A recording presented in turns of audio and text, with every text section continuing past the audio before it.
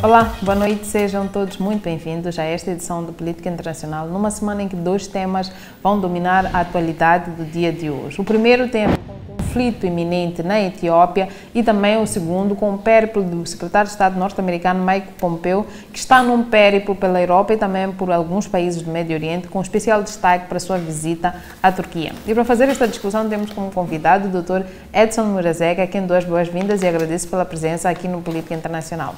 Boa noite, Dr. Murazek, seja bem-vindo e espero que hoje possamos trabalhar melhor e conversar melhor sobre o conflito que está eminente na Etiópia. Muito obrigado, Egna, por mais este eh, convite para tecer algumas considerações em torno da atualidade internacional.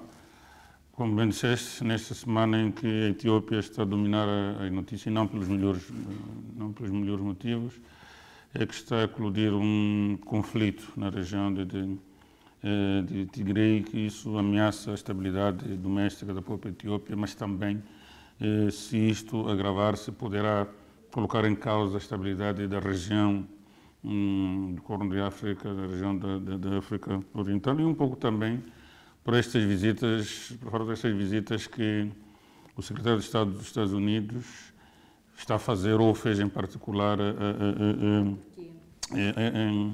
a, a Turquia já agora. Eh, não cumprimentei antes, mas sinta-se cumprimentado, senhor telespectador que nos vê neste, neste momento e o espectador que nos escutam pela pela rádio.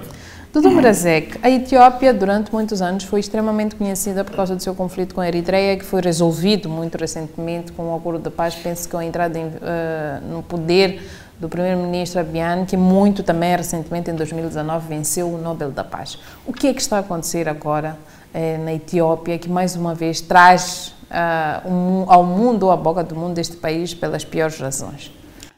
Bom, o que, é que está a, a acontecer na, na, na, Etiópia é que começou, começamos a ouvir falar de alguns eh, confrontos na, na, na, região autónoma de, de Tigre entre as forças hum, governamentais, ou do governo federal e, das, e as forças do, do governo regional de, de, de, eh, de Tigre tudo isto porque o governo federal acusa eh, eh um, o governo eh, regional ou as forças regionais de ter atacado bases eh, controladas pelo governo federal. Aliás, a Etiópia é um, é um Estado um, fe, federal que é, penso, composto por penso, nove regiões autónomas e duas cidades administrativas. Em princípio, essas cidades possuem alguma autonomia e alguma alteração, há uma mudança do, do, do poder que ocorreu em, em 2018 com a extensão deste novo primeiro uh, primeiro ministro e acabou havendo alguma uh, começa a haver alguma rivalidade que está na verdade a reacender animosidades étnicas que que já vêm do passado já vêm desde poderemos situar 91 ou um pouco antes, mas falo de 91, quando houve eh, um golpe de Estado que trouxe esta, esta estrutura governativa que se tem, que se tem da Etiópia até hoje. Então, há algumas confrontações, estão, há uma confrontação que está a ocorrer entre as forças militares do, do, do Estado Federal e as forças de, da região autónoma de, de, de Tigre, porque Bom, há acusações mútuas, né? enquanto o governo diz que isto começou do lado da, da, da, das autoridades, Dessas autoridades de Tigray. De Tigray o, o, as autoridades de Tigray chutam a batata para o outro lado, dizendo que o, eh, o governo federal que está a adotar políticas que estão tendentes a retirar a autonomia que é gozada para diferentes regiões autónomas da, da, Etiópia.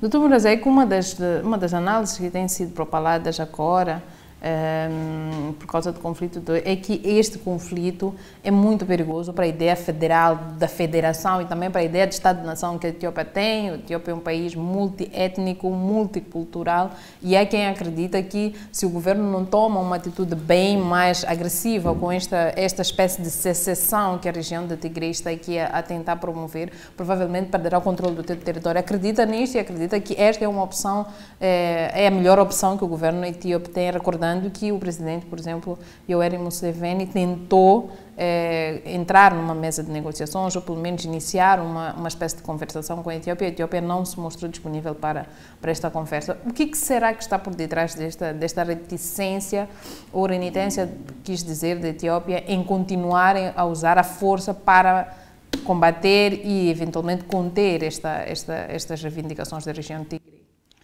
Bom, é assim, é, todos os cenários são possíveis. Eu estava a falar do cenário de, de desintegração de, de, da federação. Há sempre esse, esse perigo, há sempre esse risco, principalmente em estados ainda não tão bem consolidados, assim vamos dizer, como o caso da, Etiópia. Temos que ver também da origem deste Estado que nós temos na, na, na Etiópia, desta federação que se tem é, é, na, na, Etiópia, é uma federação cuja base é étnica. Isso é problemático. Hum? Uma federação cuja base é, é, é, quando ela foi criada, quando ela foi hum, formada, as diferentes regiões, ou pelo menos a maior parte delas, foram tornadas regiões autónomas em função de, de maiores, maiorias étnicas que existem nessas diferentes regiões, nessas nove hum, regiões. E isto que está a acontecer agora, esta confusão que está a ocorrer agora, são resquícios do passado.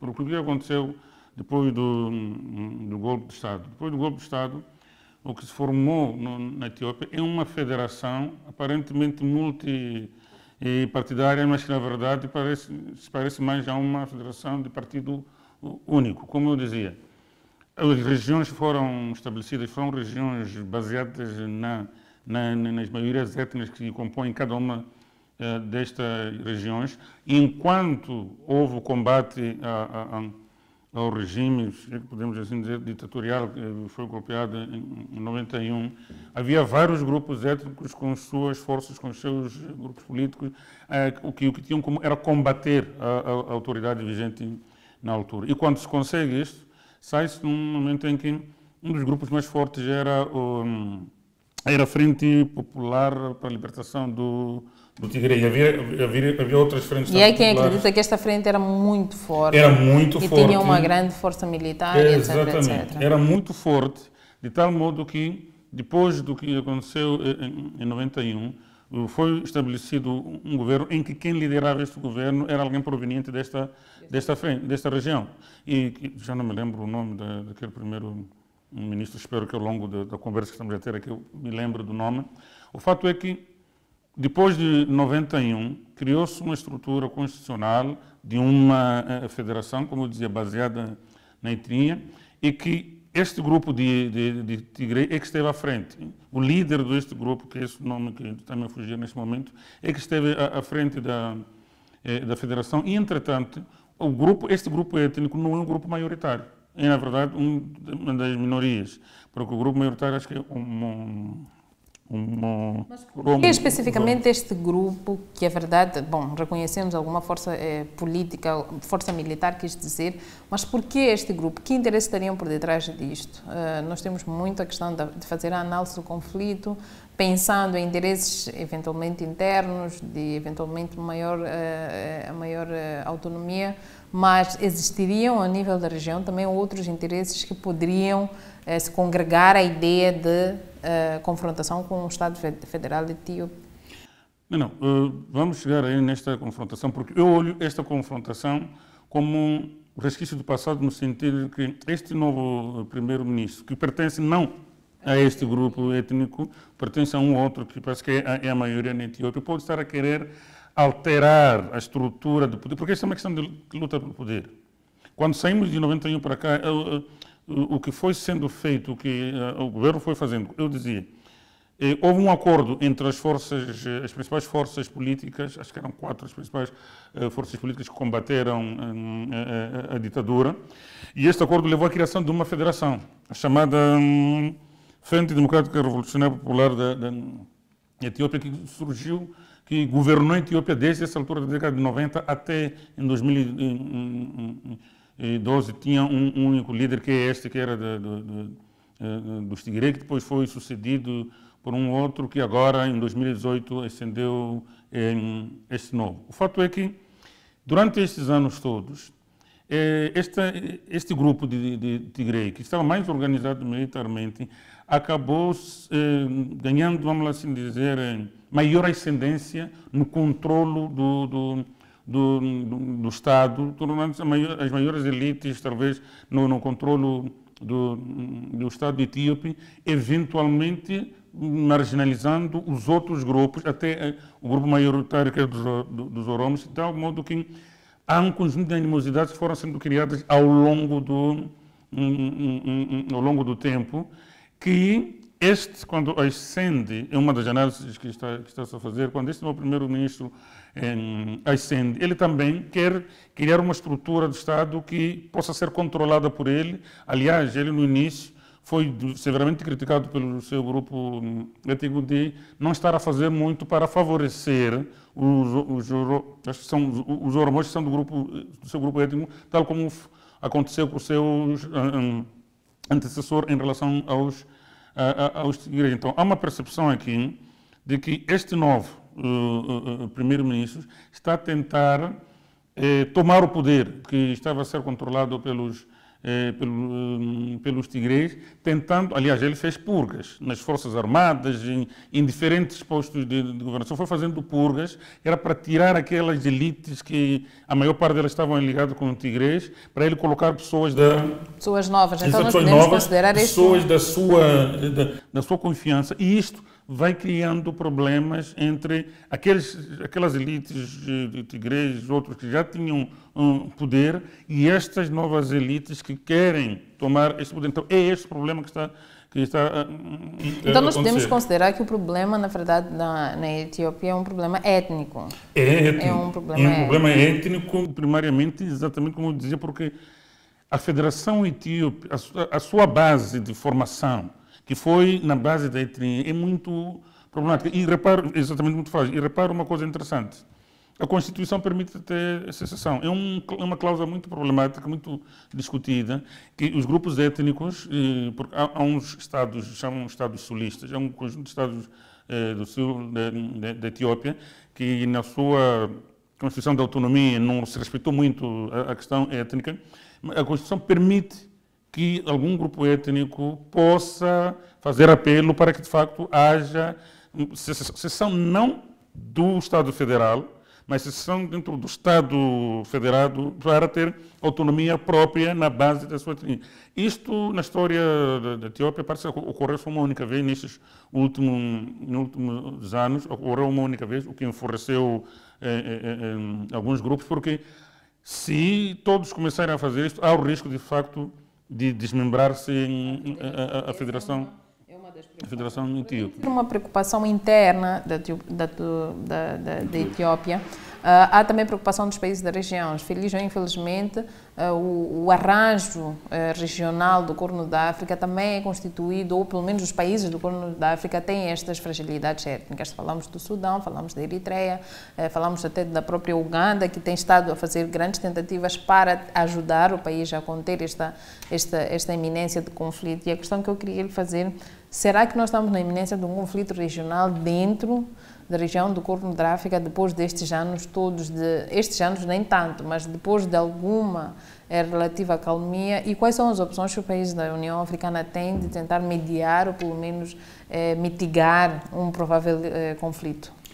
Bom, este é um, é um risco. Esperemos que não, não, não, chegue a uma confrontação a nível da, da, da região, mas é preciso lembrar uma coisa Enquanto Neme, penso que é Neme, Neme o, o primeiro-ministro que eu queria que governou... Hum, de, o Neme da ascendência tigrei, da região do Tigrei. Não, não, o Estado. Ele pertencia à Frente Popular, à Frente Popular de Libertação da, eh, de Tigrei, só que essa frente uniu-se com outras, um, outras frentes de libertação de, de Oromo, de Afar, de um conjunto de regiões e formaram a Federação etíope. Então, quem governava, o, o, quem governava a federação era este líder que vinha do, do, do, dos Tigre. E enquanto ele esteve no poder, eh, houve sempre aquela confusão com, com a Eritreia, porque na confusão com a Eritreia há um problema ali territorial que a, a Eritreia reivindica, mas que a Etiópia nunca admite. E esta região é uma região que é partilhada com, com, com Tigre. É uma região que é partilhada com Tigre e, na altura, este primeiro-ministro nunca permitiu, ou nunca chegou a um acordo de paz sobre a quem pertencia àquela região. Este primeiro-ministro, quando ascende, assinou um acordo de, de, de, de, de paz com a Eritreia, cedendo. Esse é um dos problemas que está a ocorrer eh, com, Agora, com, com os tigres. Porque há uma percepção dos tigres de que este primeiro-ministro, ao assinar, por exemplo, aquele acordo de, paz, que faz com que Tigre, vamos lá, perca uma parte do, do, do, do território que é, é, reivindicado tanto pelos Tigre como pela Eritreia, é uma forma de aliar-se à Etiópia para combater os, os, os Tigre. Então, os Tigre estão a sentir o seu poder ameaçado e vão tomando estas ações para contrapor eh, eh, esta tentativa, se for eh, este o caso, do primeiro-ministro tirar o poder dos Tigrei para, um, para um, outros, para, um, outros grupos. Então, quando falamos da região, é um risco sim que se passa, porque nos ataques, por exemplo, no, lançamento de mísseis que as forças eh, militares de Tigre foram fazendo para não lançaram apenas para. Dizem, são acusados de ter atacado uma base militar eh, dentro da, da, da, Etiópia, mas também fizeram este ataque contra o, o território eritreu, porque os tigreiros consideram que há uma mancomunação, se posso assim dizer, há uma aliança entre o governo federal da Etiópia e o governo da, da, da uh, Eritreia para destruir Tigre, para remover o poder, a ascendência que os tigres estavam a ter na, na Etiópia. Então, e, ao assinar este acordo, assinou este acordo com, com, coisa, com Eritreia, e assinando este acordo tem um aliado na Eritreia e na, eventualmente no possível conflito é isso que está a acontecer, tigres vão atacando, mas também este problema, Eritreia, a Etiópia também faz fronteira com o Sudão. É um grande perigo que, que haja escalada deste conflito, porque a escalada deste conflito pode significar um conjunto de etíopes que vão fugir e vão saltar a fronteira para onde? Para o, o, o, o Sudão. E o Sudão está com os problemas que, que tem. Temos a questão também da, da, da dos somalis, também ali há, há, o problema com, com a Somália. E mais, é, o resvalar ou a escalada deste conflito pode fazer com que a Etiópia que tem contribuído muito com as forças de manutenção de paz nos países da região. A Etiópia é um dos países que contribui mais para manter eh, vivo o sonho da formação de um governo estável na, na, na, na Somália. Na Somália. Então, o que é que vai significar um, um, conflito de grande envergadura na Etiópia?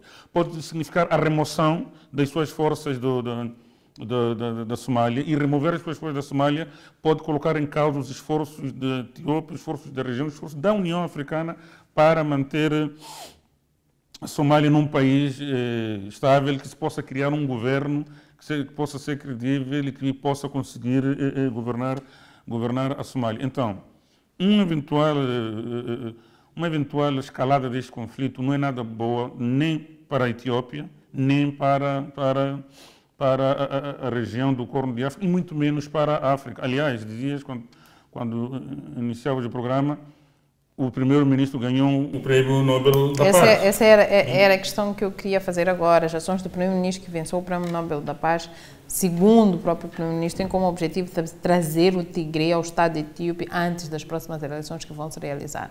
Antes de falarmos das próximas eleições, a questão é que legitimidade ou que mensagem tenta passar este nosso Nobel da Paz eh, de 2019 ao bombardear ou pelo menos a ir por uma ação menos consensual, menos negociada com a região do Tigre. O que, é que isto significa, mesmo em termos de, de, para a própria Etiópia, que muito recentemente comemorava a, a recepção deste Prémio Nobel eh, da Paz a nível mundial, por ter conseguido retirar a Etiópia da lista dos países em conflito com, com a Eritreia e que agora não consegue gerir um problema interno que eventualmente poderia ser eh, resolvido de forma negociada.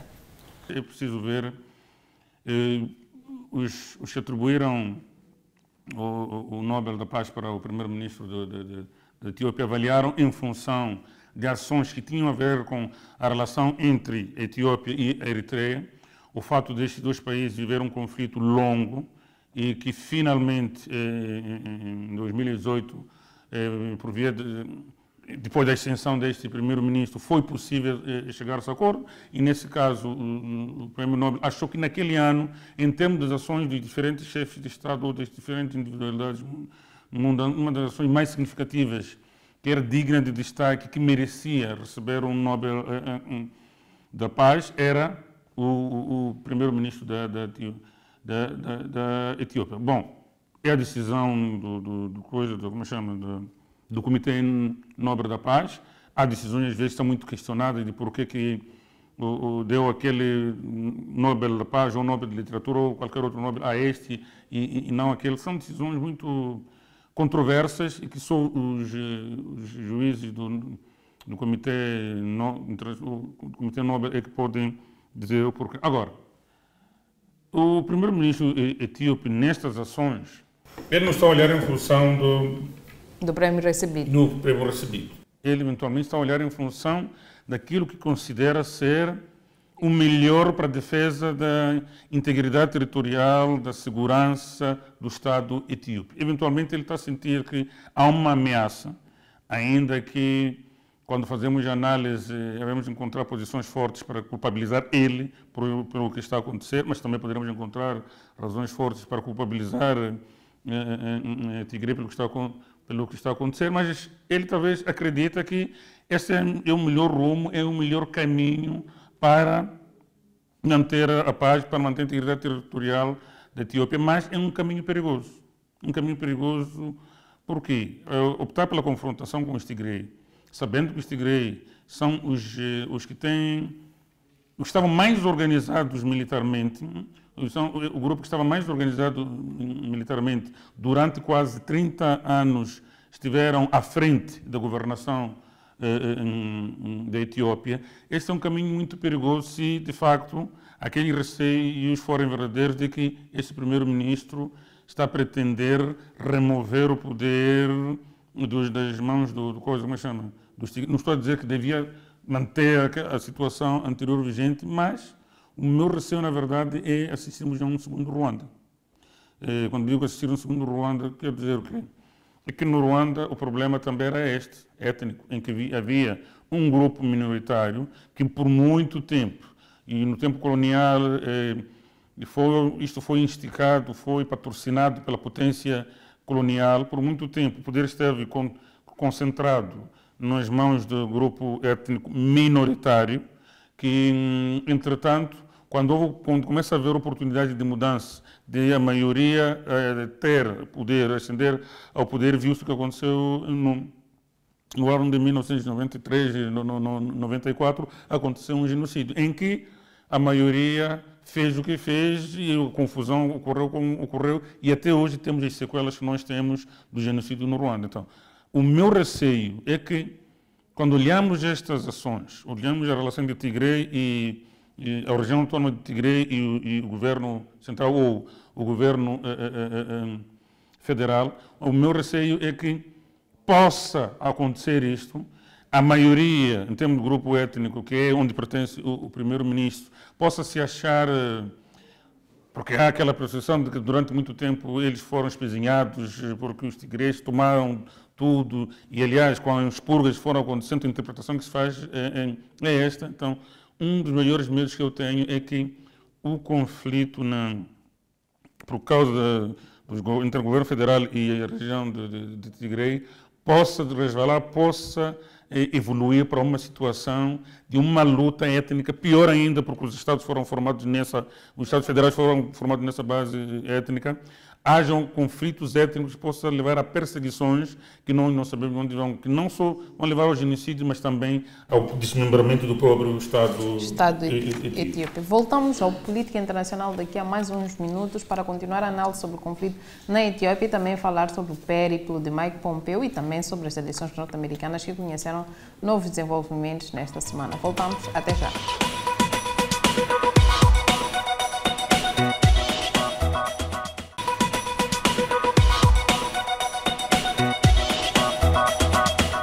Voltamos ao Política Internacional quando discutíamos o conflito na Etiópia e também perspectivamos discutir ainda neste programa a questão dos Estados Unidos e também da visita do secretário de Estado norte-americano Mike Pompeo, que está num périplo pelo Médio Oriente e pela Europa e muito especialmente pela Turquia, com quem tem relações menos amistosas. Dr. Mirazek, antes de entrarmos para o novo programa, a questão que eu iria lhe fazer é, considerando o contexto em que o conflito na Etiópia iniciou e principalmente o movimento, as movimentações que as tropas etíopes têm estado a fazer e também as tropas que estão eh, do lado do, da região do Tigre e os apelos que a região tem estado a fazer, o que é que nós podemos esperar nos próximos tempos? Qual é o papel que se pode esperar dos países da região, mas especificamente também a própria União Africana, cuja sede está em Addis Ababa?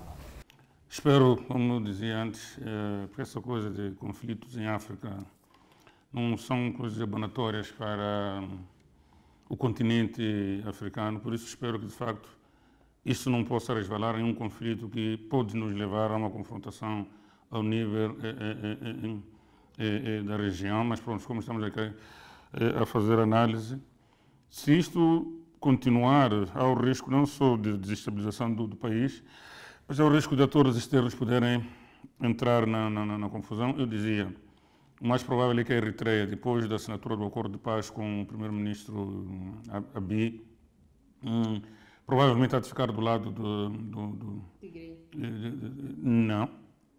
Há de ficar do lado do primeiro-ministro, das autoridades, das forças oficiais governamentais, porque é com eles que se entenderam para, para a assinatura do acordo. Claro, porque... se o acordo for, for, for suficientemente forte, eventualmente sim, mas. Mas interessa a Etiópia continuar com, com o acordo de paz do que a situação anterior que eh, eh, quem estava. Quem não estava, vamos assim dizer, dificultar a assinatura era um, era um primeiro-ministro que tinha sido líder ou que era líder da Frente de Libertação da, do Tigre. Quem pode entrar na região do lado de coisa dos Tigre, eventualmente, é, é o Egito. O Egito pode interessar, de facto, de estar do lado de Tigre, que é para influenciar os processos políticos em, em, na Etiópia, esperando, vamos assim dizer, estando do lado de Tigre, os Tigres possam levar a melhor eventualmente e governarem o país. E isto, digo isto porque, que, por exemplo, porque eu levanto a hipótese de o Egito poder estar do lado do, do, do das forças oficiais ou federais? Não, de Tigre. O Egito é do lado dos Tigre. Por quê? Porque há uma confusão entre o Egito e as autoridades federais da, da Etiópia. Porque o governo etíope tem intenção de construir a grande barragem, uh, não me lembro do, do, do, nome desta barragem. Só que a construção desta barragem ao largo do, do, do Nilo, penso eu, é uma ameaça à, é uma ameaça à segurança do Egito, ou pelo menos as autoridades egípcias consideram uma ameaça à, à segurança porque acreditam que esta, a construção desta barragem pode reduzir o nível de água que em, o Egito pode ter acesso. Então, a continuação deste estado de beligerância, deste estado de conflito e não se encontrar uma solução em, a nível em, interno, é, ameaça a segurança do, da Etiópia, mas também pode ameaçar a segurança da região, eh, da região como, como, como um, um todo.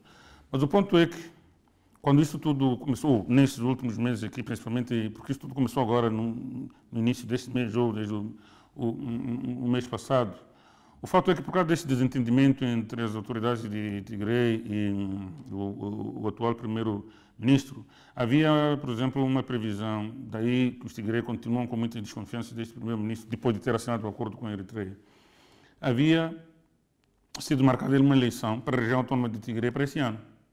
E não para as autoridades federais, mas para a região particular autónoma de, de, de, de, de Tigre. Havia eleições, penso que eram parlamentares para o parlamento de, de Tigre.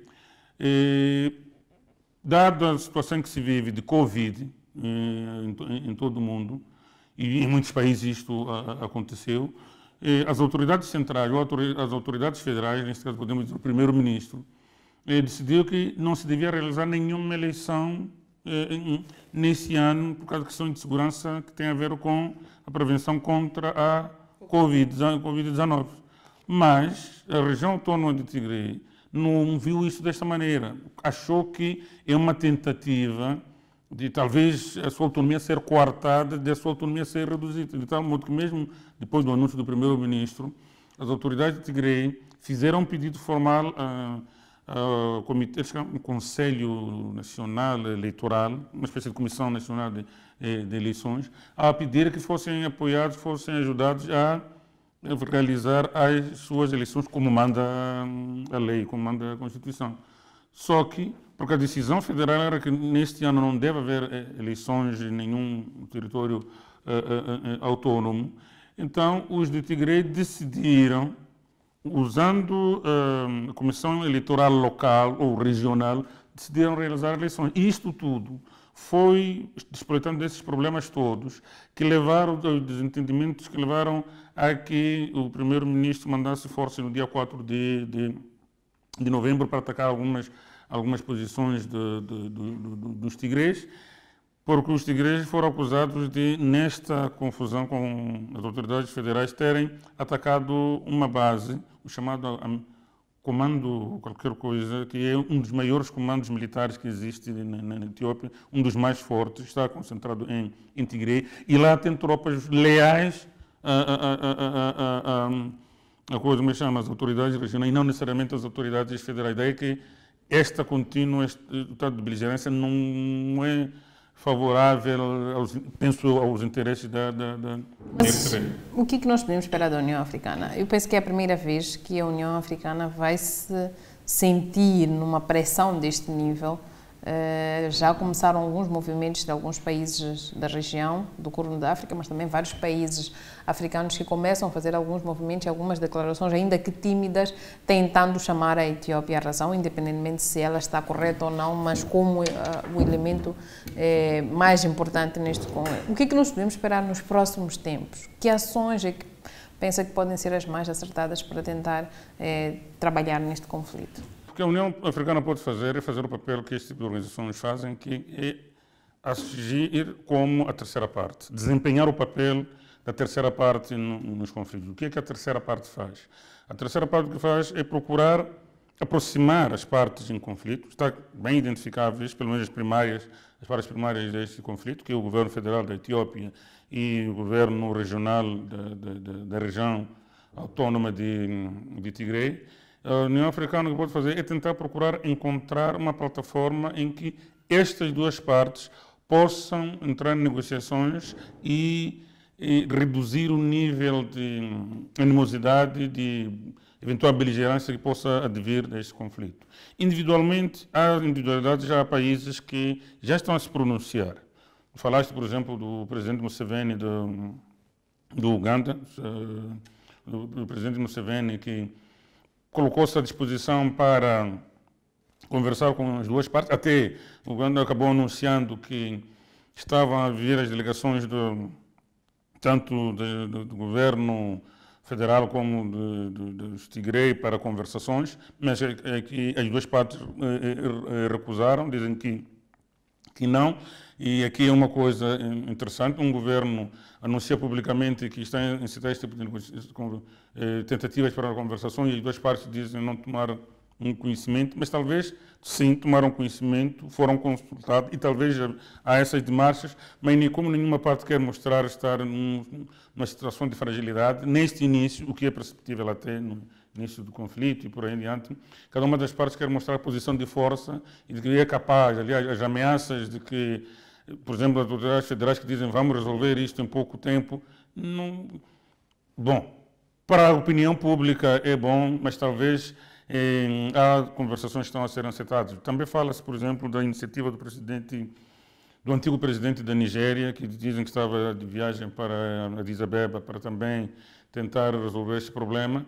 Mas o ponto é que ainda não há posições formais, formais de o, do Estado, pelo menos existe o Uganda, que já se predispôs a, a ajudar as partes.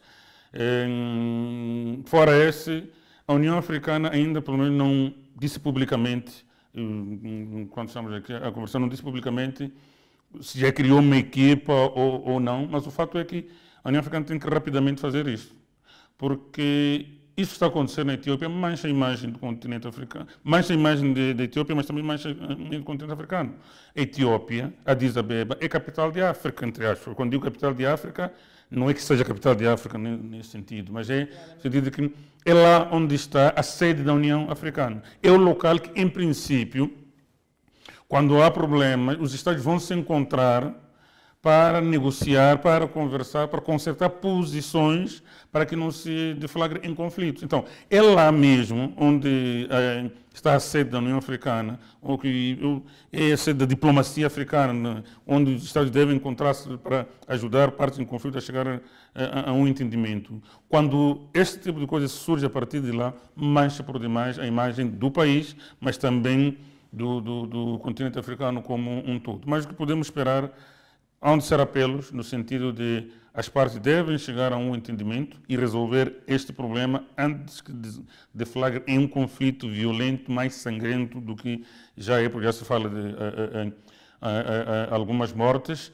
E a Etiópia tem que pôr a mão à palmatória, o governo federal, o governo de Tigre deve... Uma das consequências deste tem sido os deslocamentos que já começaram a já começaram... Deslocados, já... refugiados... Sim é que isto pode levar a uma confrontação não só dentro da Etiópia, como entre a Etiópia e países da região.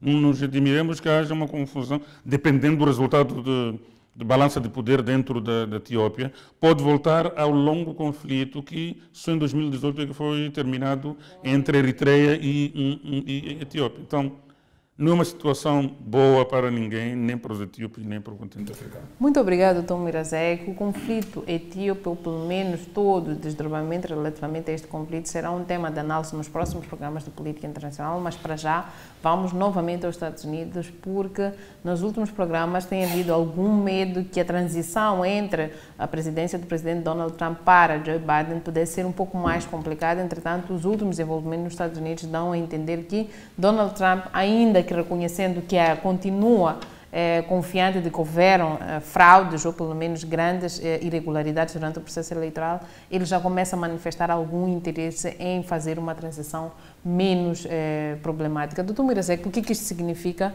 para um presidente que há uma, duas, três semanas estava muito mais concentrado na questão da fraude, é, depois dos primeiros resultados também demonstrou algum interesse, eventualmente até em fazer uma queixa formal, hoje o discurso vai mudando. O que terá mudado é a estrutura institucional norte-americana que faz com que Donald Trump reconheça que eventualmente tem poucas chances de refazer ou pelo menos de pôr o país de novo uh, às eleições, ou nem por isso, Donald Trump simplesmente acha que é uma guerra perdida e não quer continuar. Eu dizia aqui no outro programa que falamos de Donald Trump, uh, Donald Trump é um mau perdedor, é um líder que está numa democracia que se auto-intitula como uma das melhores, maiores eh, eh democracias eh, do mundo, mas que é um mau perdedor. Um mau perdedor como em qualquer parte do mundo que tenha havido esse tipo de conflitos, porque isso é um conflito pós-eleitoral que estamos assistindo nos Estados Unidos pode não chegar a níveis violentos como tem acontecido em outras eh, partes do mundo, mas é um conflito pós-eleitoral, no sentido de que as autoridades eleitorais eh, anunciaram os resultados do, do, da, da, votação e deram vitória a um determinado candidato, o outro candidato recusa-se a aceitar eh, eh, eh o resultado dessa eleição, promete eh, levar o caso à justiça, aliás, já levou à justiça eh, vários casos em vários estados, muitos deles foram um, recusados, alguns deles foram o número de votos na situação está-se a reclamar, ainda que fossem eh, recontados, não, não dariam nenhuma votação a Donald Trump. Sei que na Geórgia, por exemplo, por causa da é que é um estado que Joe Biden venceu as eleições depois de muito tempo nas mãos dos republicanos e a margem foi mínima. Uh, houve recontagem dos votos e, não, e esta está a haver uma recontagem manual dos votos e esta recontagem não é necessariamente por causa das reclamações do, do, do, da campanha de Donald Trump, é mesmo pelas regras do, do, Estado, em que quando a margem de diferença entre os candidatos é demasiado próxima ali, então faz-se uma recontagem para se confirmar e as últimas notícias que eu via era que, mesmo assim, Joe Biden continua, continua a, a, a liderar nessa, nessa recontagem. Bom, o processo de transição já foi dificultado. Já foi dificultado porque a tradição norte-americana é que na, até na noite eleitoral, muitas vezes, quando começa a se contar os votos, quando a tendência mostra, naquela noite ou um dia depois, quando começam a contar os votos, e a tendência começa a mostrar um, um direcionamento de que há um determinado candidato que vai vencer, e há, um, há uma tradição dos, dos, dos, candidatos perdedores fazer uma chamada telefónica. Que, que é a, a, a coisa que chama. Uma espécie de reconhecimento. Exatamente, em que reconhece que perdeu as eleições, parabeniza o, o, o, candidato vencido e promete trabalhar em conjunto, ajudar, o, independentemente de gostar ou não, é só ver a transição de Obama para, para, para, para Trump. Trump era um candidato que Obama, quer dizer, ele não se... Aliás, Ideologicamente, politicamente. Aliás, também os candidatos nunca são amigos de, de partidos diferentes, nunca vão ser, podem ser, mas raramente. Mas há esta tradição da democracia americana fazer esta chamada e começar-se a trabalhar para o bem do país. Mas Donald Trump, até hoje, não quer aceitar a derrota. Quer dizer, há uma interpretação de um discurso que ele fez, que, em que ele diz assim, ah, Joe Biden venceu porque as eleições foram viciadas. Assim que ele disse isso, toda a imprensa, quer dizer, toda não, né? mas grande parte da, da, da imprensa veio ao público dizer, pela primeira vez Donald Trump reconhece que perdeu as eleições. E ele rapidamente foi apagar aquilo e voltou a dizer que não, foram roubadas as eleições. Então, é um candidato que foi presidente nos últimos, eh, e é presidente ainda, não é?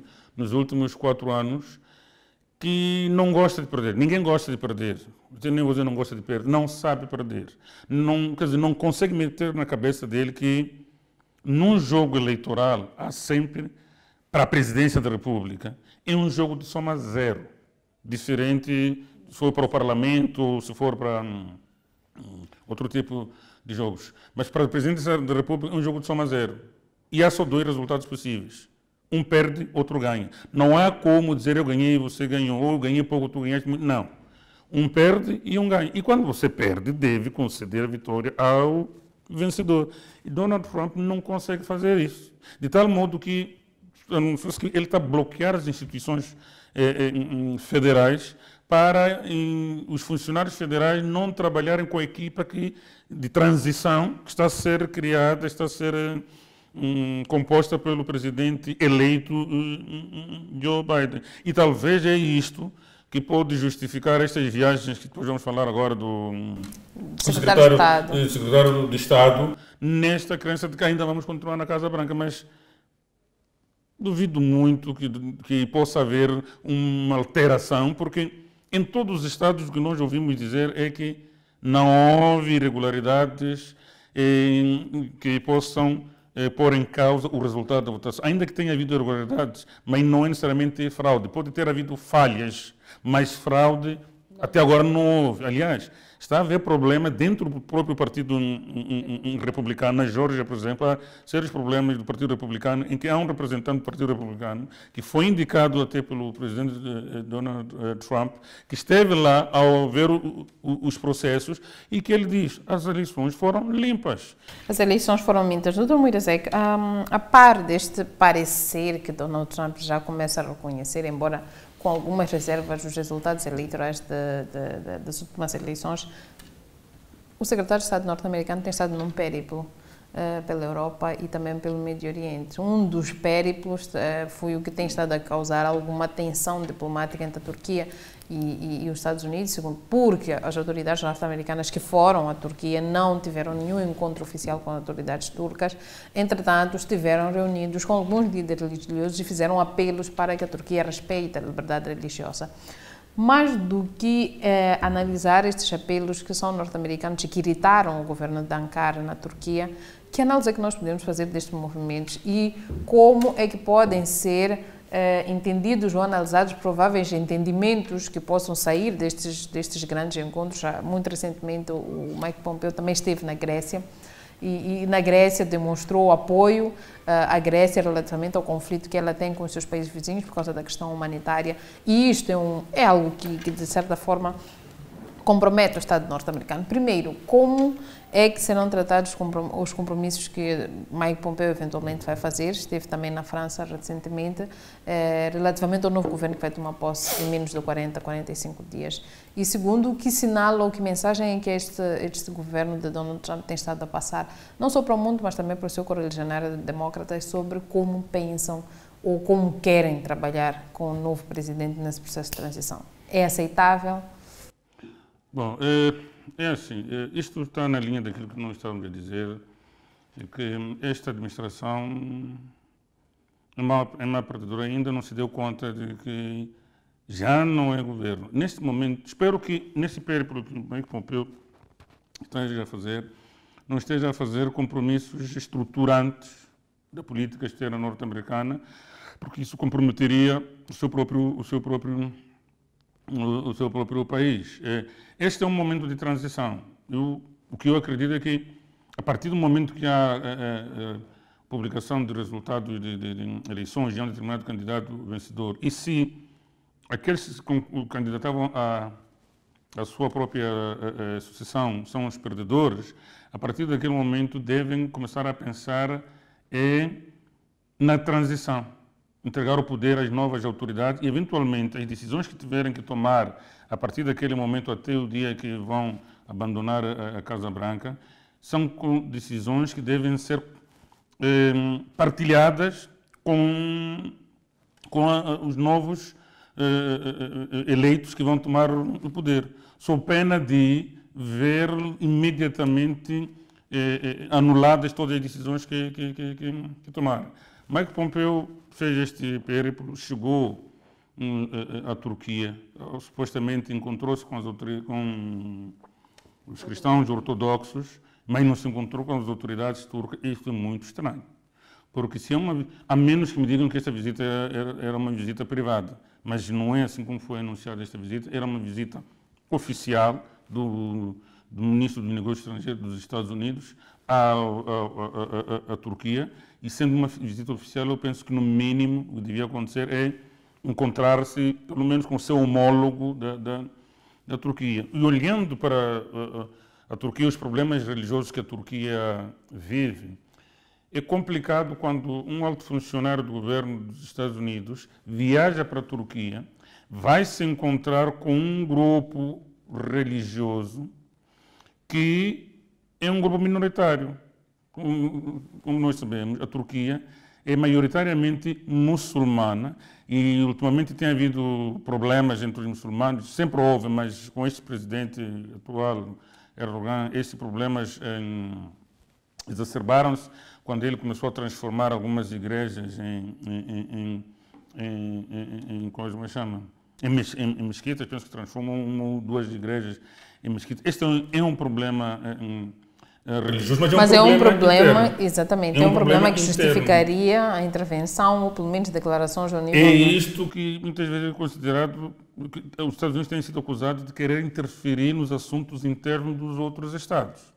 E neste caso, bom, a partir de, de, do, do, seu escritório em, em, em, Washington, penso que é em Washington, Ministério da Defesa, desculpa, do Negócio Estrangeiro dos Estados Unidos, a partir uma coisa é fazer essas críticas, como tem feito sempre, a partir de, do, dos Estados Unidos. Outra coisa muito diferente, que eh, considero uma ofensa à coisa, mas chama, pode ser considerada uma ofensa aos seus homólogos da Turquia, e, é, e acho que é assim que eles consideraram, é fazer uma viagem, ainda nesta altura, em que já não são os próximos que vão ficar eh, na Casa Branca, vão ficar, eh, não vai continuar como ministro de Negócios Estrangeiros dos Estados Unidos e decide, no momento em que devia se preocupar em fazer a transição do poder para os novos, no momento, talvez, em que as suas viagens deviam ser de despedir os seus homólogos, eh, assegurar-lhes alguma coisa que é para a nova administração, por exemplo, vai continuar a trabalhar convosco nos projetos XYZ que os nossos países tinham em conjunto, porque penso que é isto que